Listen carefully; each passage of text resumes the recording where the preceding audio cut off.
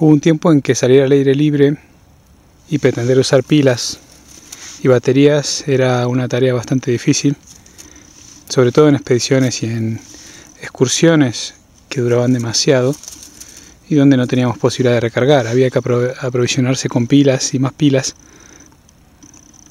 Y bueno, rezar que el tiempo no fuera muy frío para no estropearnos las pilas y otro tipo de cosas que nos hacían sufrir bastante al aire libre.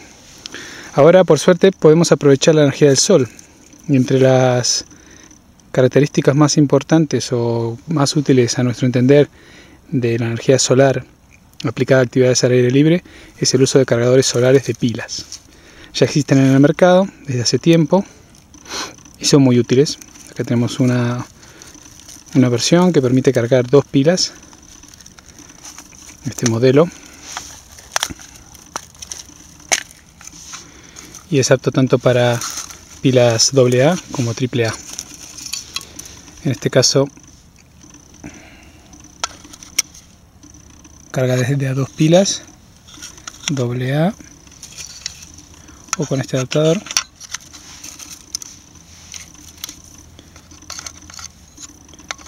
dos pilas tipo AAA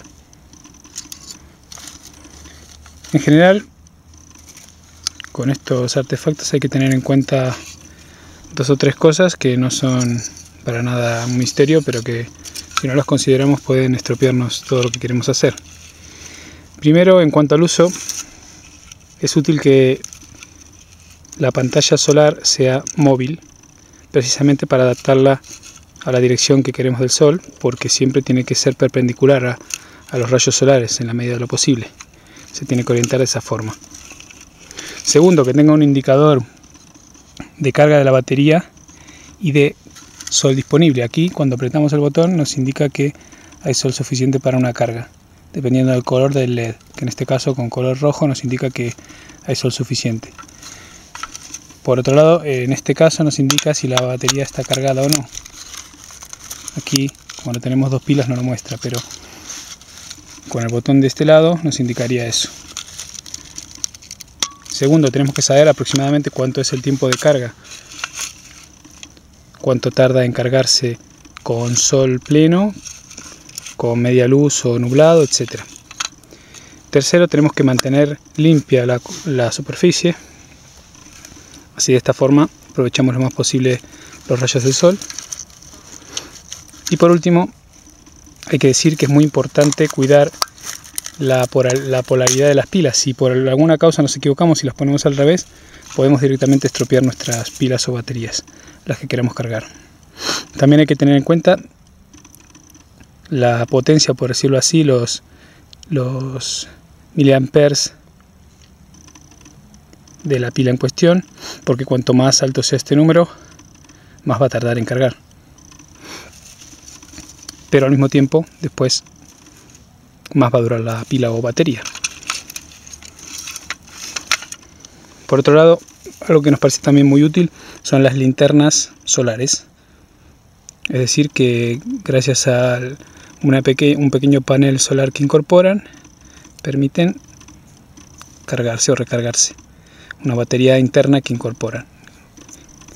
En este caso es una linterna, una linternita muy pequeña, híbrida, porque también tiene un sistema de dínamo que permite cargarla girando esta, esta palanquita.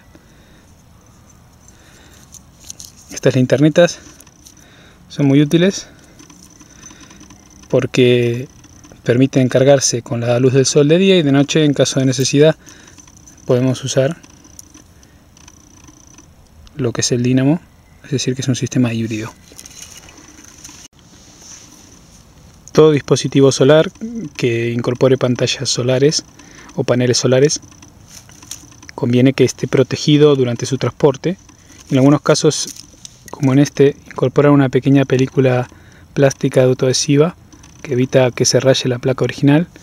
Y en otros casos, si no viene, nosotros incorporamos una funda o un estuche donde transportarlo para evitar rayaduras o rayones.